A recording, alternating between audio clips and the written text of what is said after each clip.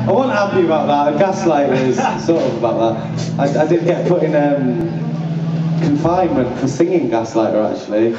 So I, point, pointed. No, she was a gaslighter. She was like a right Catholic. I've got a bit of an issue with them. So. But um, she's like, it's mentally. I was like, gaslighter. anyway, it didn't help. Um, this song is about being in a mental hospital um, and having a fucking priest visit you when you'd rather have like a yeah. No, I mean I want. What happened was I asked for some kind of religious figure just for someone to talk to, and I wanted a Hindu or a pagan or something because that's kind of what I'm into. And they said, "We'll give you a priest," and I was like, "If that's all you've got, I'll just I'll just have a priest." So he turned up in his dress, talking about demons, and I couldn't see the difference. I was there in a dress talking and I said to him, "I said, how come you're allowed to leave?" He said, "Well, you know, maybe everyone agrees with my things." I was like.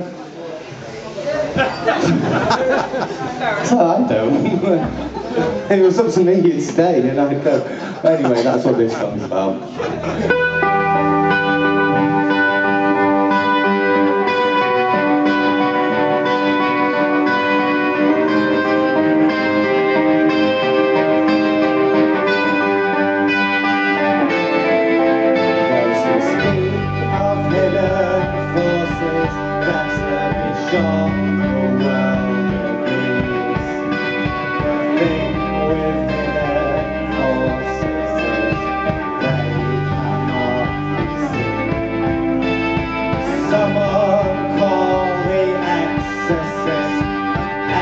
Exercise the priest. He speaks of demons.